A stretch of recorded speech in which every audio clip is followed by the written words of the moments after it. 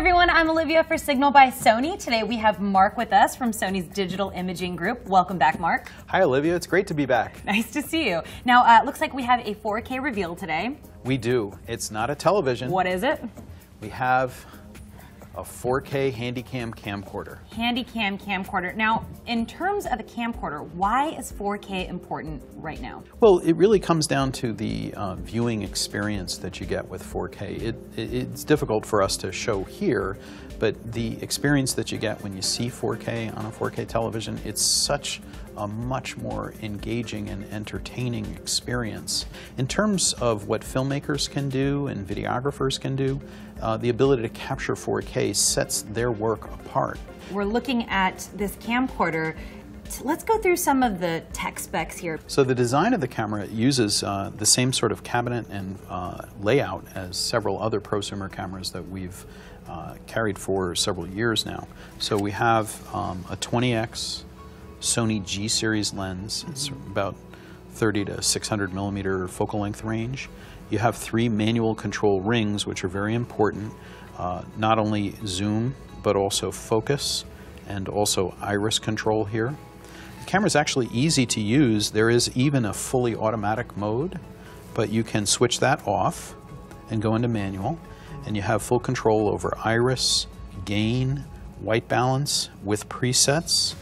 You have full audio controls here uh, because, of course, we have uh, full XLR input capability as well as an internal microphone. Switchable ND filters, very important for this uh, level of uh, camera. On the output side, here are the two XQD slots right here. Okay. You have an SD card slot here, USB output. Tell us a little bit about the battery. With a camera that uses this much energy, because of all of the data that we're handling, we use our largest L series batteries and we use the highest capacity. So now what type of media are, is this camera recording to? Mm -hmm.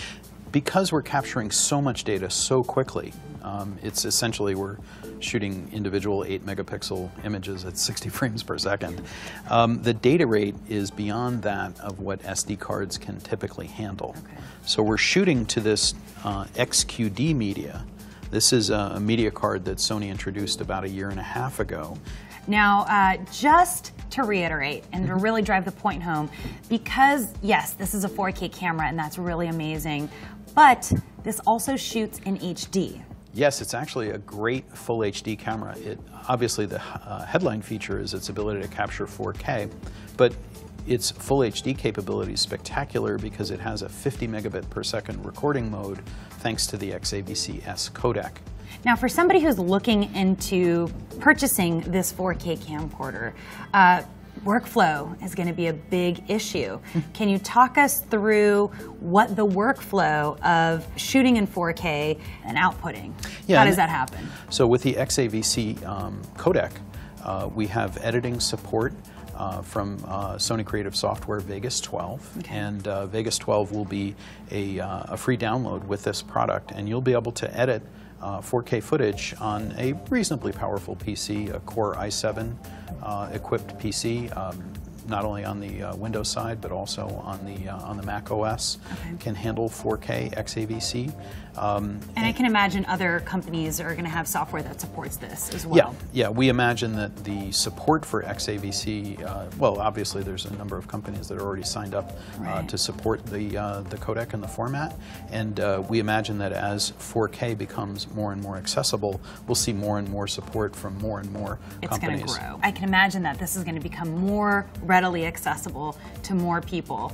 So if we're shooting in 4K, can we then just view it in HD and sure. output it in HD? Sure. Literally, you'll be able to go into a store in October, buy this product, shoot 4K 60p video, plug it into your Sony Bravia 4K television with a single HDMI 1.4 cable and watch 4K 60p video.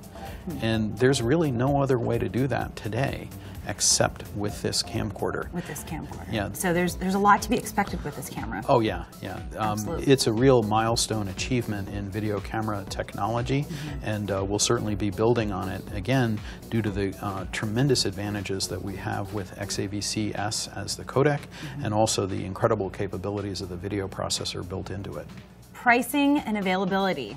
Yeah, this this product will be coming to market in about the second week of October, and we're going to position it at four thousand five hundred dollars, which is quite similar to where cameras of this type are placed right now. Obviously, For the this is a- prosumer. yeah, prosumer camcorders are you know significantly well, as you can see, larger Mm-hmm. and a bit more expensive than what you'd find in a palm-size uh, consumer camcorder.